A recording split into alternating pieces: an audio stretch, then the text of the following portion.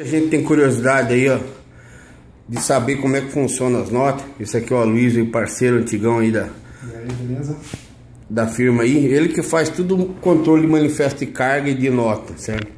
Através dele aqui, a nota emitida da empresa.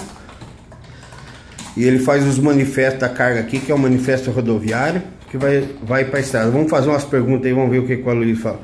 Luiz, o que, que é o manifesto de carga, Luiz? Na verdade, isso é o serviço que é o controle do serviço fiscal, além da, da cobrança né, do serviço que a, que a empresa faz né, do, do, do transporte. Aí tem todos, vão todos os dados fiscais né, da, da, da CMS, da carga, mercadoria, enfim.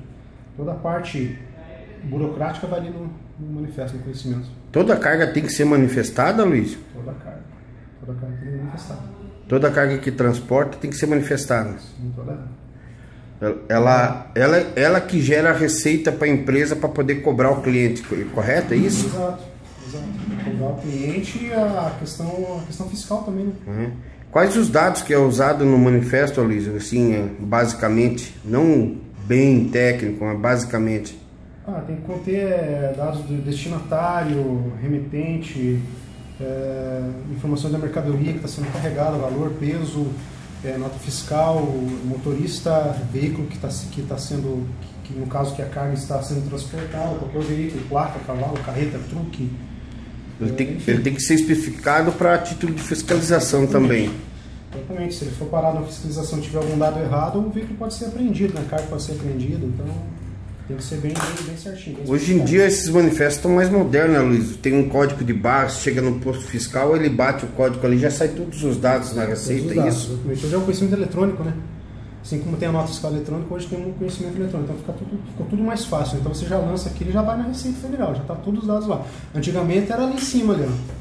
Vamos ver lá. comecei a trabalhar com transporte, olha lá, o que, que eu lá. Alguém conhece lá, tá lá, emergência, acabou a luz, vai pra maquininha, mas não acontece mais Hoje isso. não pode, nem pode mais, né? É Mas eu sofri, sofri muitos anos com, com, com maquininha de escrever. Então hoje em dia você lançou ela aí, ele já vai os dados tudo para Receita Federal. Chega lá, o cara só passa o scanner no código de barra, já tá lá os dados do, do manifesto que você fez. Tudo, todos os dados, tudo, tudo que precisa saber sobre a carga, tá, tá. Aí o cara só confere ali e já tá ok. Exatamente. Bem mais fácil, né? bem mais prático.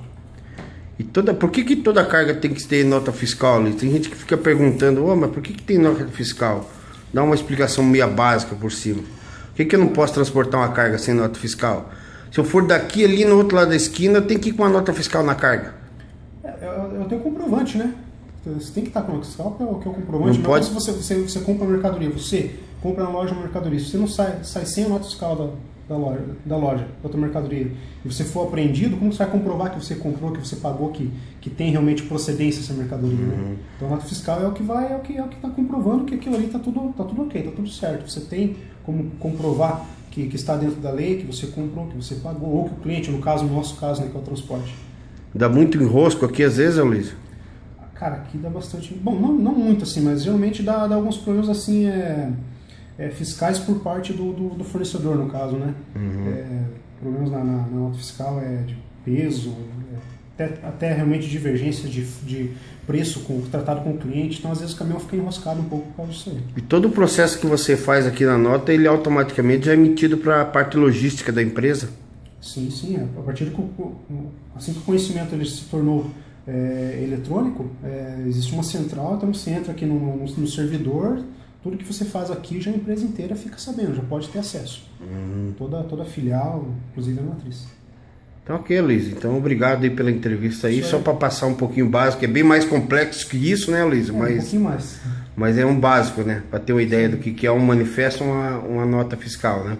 Mais ou menos isso. Então, o motorista tem que sair daqui, sempre que ele for sair para viajar, ele tem que conferir a nota fiscal, o endereço, o cliente, para evitar qualquer tipo de, de, de, de intervir na estrada, Ah, né, tem que conferir, o cara tem que dar uma olhadinha, né? Para onde que tem, se está se tá certo, se está o nome dele certo, se está a placa certa, para evitar realmente problema para ele, porque se tiver alguma coisa errada, né? todo mundo é humano, né? eu, eu posso errar alguma coisa, mas se o cara te- for parar, algum- tiver algum problema, ele vai se prejudicar. Então sempre bom dar uma conferidinha para ele sair já, já tranquilo. Beleza, Luiz. Obrigadão. Valeu, galera. Até mais, abraço.